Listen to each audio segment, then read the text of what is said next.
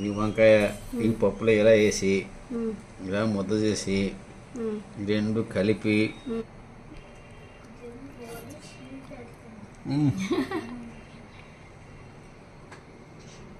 ఆహా. చాలా బాగుంది. బాగుందా?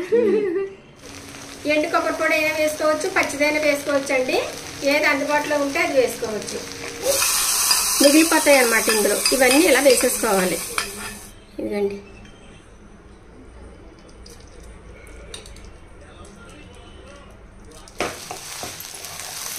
చాలా సింపుల్గా టేస్టీగా చేసుకునే వంకాయ కొబ్బరి ఫ్రై అలాగే పప్పు బీరకాయ టమాటో. ఇందులోనే ఒక కరివేపాకు రెమ్మ తీసుకుని ఇలా దూసేసుకుని వేసుకుంటే కరివేపాకు ఫ్లేవర్ చాలా బాగుంటుందండి పప్పులోని. పప్పుతో పాటు ఉడకాలన్నమాట.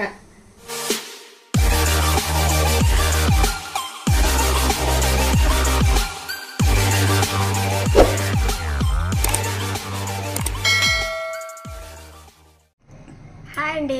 అందరికీ నమస్కారం. అందరు ఎలా ఉన్నారు? మేమైతే చాలా బాగున్నామండి. మీరు కూడా బాగుండాలని మనస్ఫూర్తిగా కోరుకుంటున్నాను. వెల్కమ్ బ్యాక్ టు కోనసీమ వంటలు ఈరోజు మన వీడియోలో చక్కని వెజిటేరియన్ రెసిపీ చేస్తున్నానండి. రెండు రకాలు చేస్తున్నాను. అవి ఏంటంటే ఇదిగోండి వంకాయలు. గులాబీ వంకాయలు తీసుకున్నానండి. ఇవి హాఫ్ కేజీ వంకాయలు అనమాట ఈ వంకాయలతోటి ఈ వంకాయలు కొబ్బరి వేసి ఫ్రై చేస్తానండి. అలాగే ఇంకొక కూర ఏంటంటే పప్పు బీరకాయ టమాటా అన్నమాట. చాలా బాగుంటుందండి. ఓకే అండి? దానికి కాంబినేషన్ ఒక వేపుడు కానీ ఏదైనా ఉండాలి కదా? అందు గురించి వంకాయ కొబ్బరి వేసి ఫ్రై చేస్తున్నాను. వంకాయ కొబ్బరి చాలా బాగుంటుందండి. మీరు కూడా ఒకసారి ట్రై చేద్దరు కానీ చాలా సింపుల్ రెసిపీస్ అన్నమాట ఈ రెండు కూడాను. చక్కగా ఆడతా పాడతా చేసేసుకోవచ్చు. కుక్కర్ పెట్టేసుకుని ఈ ఫ్రై చేసేసుకోవచ్చు అనమాట సింపుల్గా తక్కువ టైంలో మంచి రుచిగా ఉండే వంట ప్రిపేర్ అయిపోతుంది. ఇదిగోండి నీళ్ళల్లో కొంచెం సాల్ట్ వేసాను సాల్ట్ వేసేసిన తర్వాత వంకాయలు పొడవుగా కట్ చేసుకోవాలండి. కొంచెం పెద్దగానే కట్ చేసుకోవాలండి ఇలా పొడవుగాను. చిన్నగా కట్ చేసుకున్నాం అనుకోండి పేస్ట్ కింద అయిపోతాయి. మనకి ముక్కల్లాగే ఉండాలి అలాగే చక్కగా ఉడికిపోవాలన్నమాట. ఆ విధంగా చేసుకోవాలంటే ఇలా కొంచెం వంకాయని నాలుగు ముక్కల కింద కట్ చేసుకుంటే సరిపోతుంది.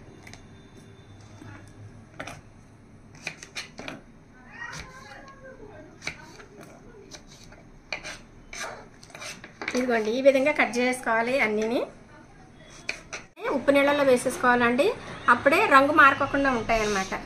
ఓకేనండి? ఇప్పుడు ఈ ఫ్రై ఏ విధంగా చేయాలి? అలాగే పప్పు బీరకాయ టమాటా ఈ మూడు కలిపి కూర చేస్తున్నాను. ఈ రెండు రెసిపీలు ఏ విధంగా చేయాలనేది చూపిస్తానండి. రండి మరి కిచెన్లోకి వెళ్ళిపోదాం. ఇదిగోండి బీరకాయ పప్పు చేసుకోవడం కోసం ఈ చిన్న గ్లాసుడు కందిపప్పు తీసుకుంటున్నానండి. అలాగే అదే గ్లాస్ తోటి మసూరు డాల్ తీసుకుంటున్నానండి. ఎర్రపప్పు అని కూడా అంటారు కదా. ఈ పప్పు రెండు కలిపి పప్పు చేసుకున్నామంటే చాలా రుచిగా ఉంటుందన్నమాట. ఇప్పుడు శుభ్రంగా కడిగేయాలండి. కడిగేసి నీళ్ళు పోసి నానబెట్టాలి. ఇదిగోండి రెండు సార్లు పప్పు కడిగేసాను ఇందులో రెండు మూడు గ్లాసులు నీళ్ళు పోసి ఇదిగోండి మూడు గ్లాసులు నీళ్ళు పోసాను. అలాగే ఒక ఉల్లిపాయని ఇలా పొడవుగా కట్ చేసుకుని వేసుకోవాలండి. అలాగే ఏడెనిమిది పచ్చిమిరపకాయలు రెండు టమాటాలు ఇలా సన్నగా పొడవుగా కట్ చేసుకుని వేసుకోవాలి. ఇదిగోండి హాఫ్ కేజీ బీరకాయలు తీసుకుని ఇవి చిన్నగా ఇలా కట్ చేసేసుకొని వేసేసుకోవాలండి.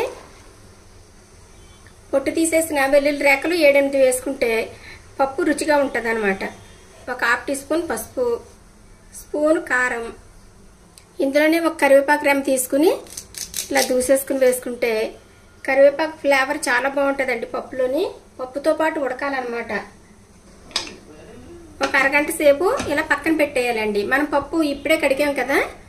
ఇప్పుడు పప్పు నానుతుంది అనమాట అరగంట పోయిన తర్వాత మనం స్టవ్ మీద పెట్టుకోవచ్చు. ఇదిగోండి కుక్కర్ స్టవ్ మీద పెట్టి నాలుగు విజిల్స్ రావాలన్నమాట. నాలుగు విజిల్స్ అయితే పప్పు బీరకాయ కరెక్ట్గా ఉడికిపోతుంది అనమాట ఇదిగోండి నాలుగు విజిల్స్ అయిపోయిన తర్వాత కొంచెం కుక్కర్ చల్లారిన తర్వాత అప్పుడు మూత తీయాలి. ఇదిగోండి ఎంత చక్కగా ఉడికిపోయిందో. పప్పు బీరకాయ. ఇదిగోండి. చాలా చక్కగా ఉడికింది. ఇప్పుడు ఈ నీళ్ళు అన్నీ ఒక గిన్నెలోకి ఒప్పుకోవాలండి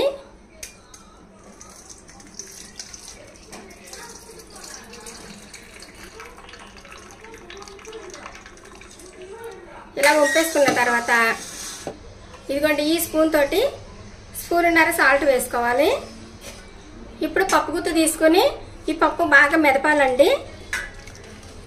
ఇదిగోండి ఇలా మెదిపేసిన తర్వాత ఇప్పుడు మన పప్పులోంచి తీసుకున్న ఈ నీళ్ళు వేసేసుకోవాలి. రవ్వ అంతా చింతపండు పులుపు వేసుకుంటే బాగుంటుందండి. ఆల్రెడీ రెండు టమాటాలు వేసాను కదా.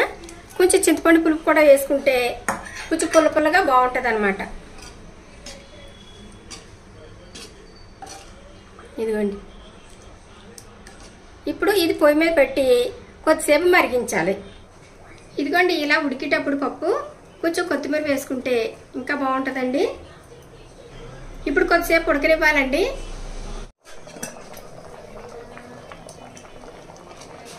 ఇదిగోండి చక్కగా మరిగిపోయిందండి. ఇప్పుడు తాలింపు వేసేసుకోవాలి. మరి చిక్కగాను అలాగే బాగా పలచగాను ఉంటే బాగోదండి. ఇలా ఉండాలన్నమాట కరెక్ట్గా పప్పు బీరకాయ అంటే. ఇందులో టమాటా వేసాము అలాగే రవంత చింతపండు పులుపు కూడా వేసాం కదండి. చాలా రుచిగా ఉంటుంది. ఇదిగోండి తాలింపు వేసుకోవడానికి చిన్న పాత్ర పెట్టాను. పాత్ర వేడైన తర్వాత రెండు గంటల ఆయిల్ వేసుకోవాలండి.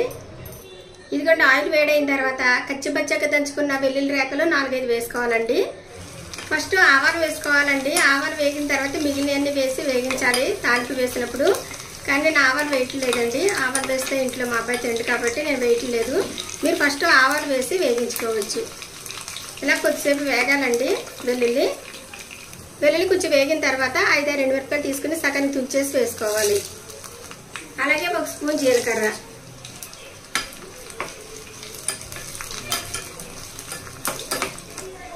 ఇవన్నీ వేగిపోయినాయి కదండి. ఇప్పుడు రెండు రెమ్మలు కరివేపాకు వేసుకోవాలి.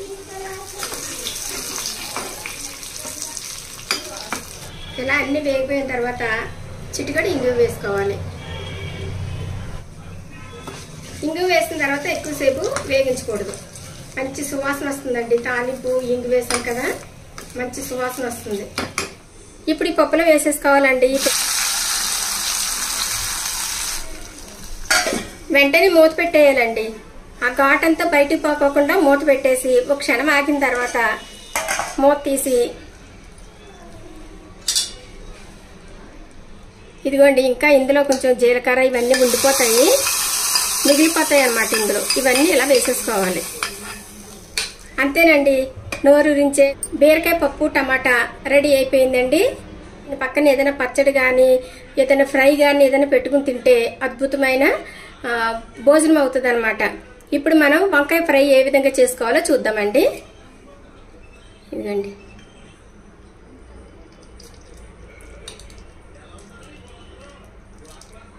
ఇదిగోండి వంకాయ ఫ్రై చేయడం కోసం కళాయి పెట్టాను. కళాయి వేడైన తర్వాత రెండు గరిటెలు ఆయిల్ వేసుకోవాలండి. ఆయిల్ వేడైన తర్వాత ఒక స్పూన్ పచ్చిశనగపప్పు ఒక స్పూన్ మినపప్పు హాఫ్ టీ స్పూన్ జీలకర్ర తుంచిన నాలుగు ఎండుమిరపకాయలు. ఇవన్నీ వేసిన తర్వాత చక్క దోరగా వేగించాలండి.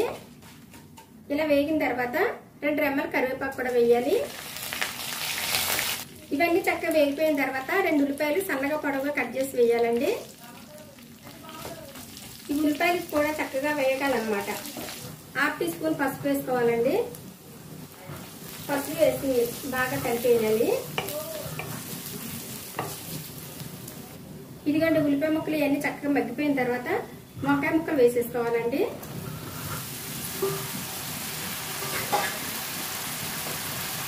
ఇప్పుడు బాగా కలపాలి.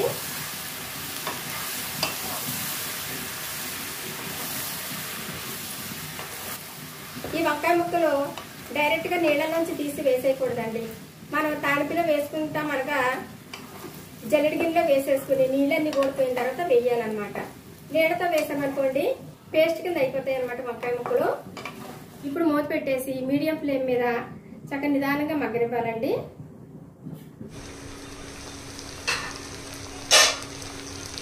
ఇది చూడండి చక్కగా మగ్గిపోయినాయండి వంకాయలు. ఇలా అయిన తర్వాత ఇప్పుడు సాల్ట్ వేసుకోవాలండి. ఇదిగోండి హాఫ్ టీ స్పూన్ సాల్ట్ వేసుకుంటే సరిపోతుంది. ఒక చిన్న కప్పు కొబ్బరి పొడి కూడా వేసుకోవాలండి. రెండు కొబ్బరి పొడి అయినా వేసుకోవచ్చు పచ్చిదైనా వేసుకోవచ్చు అండి ఏది అందుబాటులో ఉంటే అది వేసుకోవచ్చు. బాగా ఎక్కువగా కలపకూడదండి. లైట్గా కలిపితే సరిపోతుంది. సారీ అండి. పచ్చిమిర్చి అల్లం పేస్ట్ కూడా దంచేసి వేశాను. నాలుగు పచ్చిమిరపకాయలు ఒక అంగులు అల్లం ముక్క దంచి వేశానండి. ఆ సీన్ స్కిప్ అయింది అంతేనండి. ఇలా కలిపేసిన తర్వాత మూత పెట్టి టూ మినిట్స్ మగ్గిస్తే సరిపోద్ది. ఇదిగోండి టూ మినిట్స్ తర్వాత చక్కగా మగ్గిపోయిందండి. ఇంకా స్టవ్ ఆఫ్ చేసుకోవచ్చు.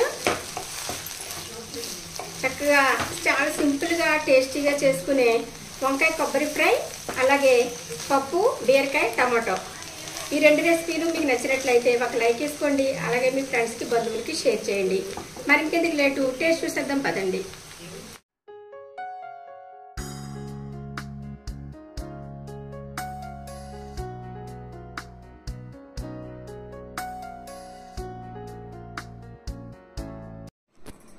ఇదిగోండి రెండు రెసిపీలు రెడీ చేసేసాను.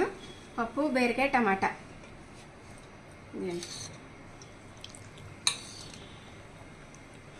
అలాగే ఇదిగోండి వంకాయ కొబ్బరి ఫ్రై. ఈ రెండు రెసిపీలు చాలా బాగా కుదిరినాయండి. ఇప్పుడు మా వారు టేస్ట్ చూసి చెప్తారు ఎలా ఉందనేది ఆ తర్వాత తెలుస్తుంది మాకు. తొందరగా వడ్డితే తొందరగా టేస్ట్ చెప్తాను.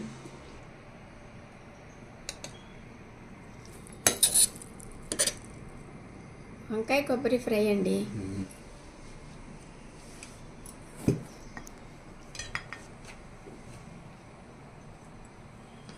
వేడిగా ఉంది. రైస్ తక్కువ కూర ఎక్కువ తినాలి. డయాబెటీస్ పేషెంట్స్ ఇదిగోండి పప్పు. మీకు ఎంతో ఇష్టమైన పప్పు.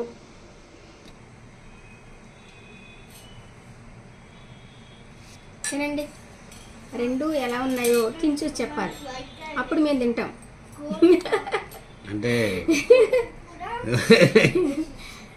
ఈ వంకాయ ఈ పప్పులో ఇలా వేసి ఇలా ముద్ద చేసి. రెండు కలిపి.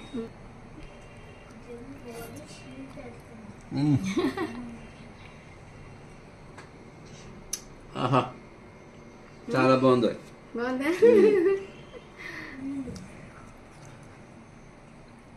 పప్పు పెట్టుకుని రెండు వంకాయ ముక్కలు తగిలితే ఆహా అద్భుత చాలా బాగుంటుంది. చాలా బాగుంది.